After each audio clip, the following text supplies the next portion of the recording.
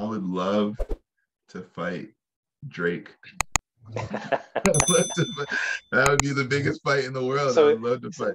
But isn't there isn't there some sort of thing about the Drake curse? have, you, have you heard about the Drake curse? If he ever turns up to a fight, that that person's losing. But I suppose if it's him, it's probably him who turns up and he loses, isn't it?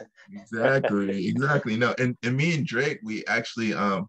So when I train in California, me and Drake have the same trainer. Okay. So um yeah, so it's like he's Drake's been training boxing for about like three years now, two or three years um, that I know of with my trainer.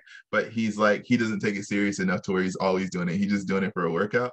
So I think that that would be like, I would love to fight Drake. And then, um, but is fighting Drake is that is that bad blood or just because you know him and you see him around, you want to fight him?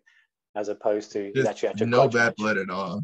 No bad. Drake is one of the people in the industry that I respect out of like everybody. Like, so I think that that would be the thing was it would be fighting like my idol type thing.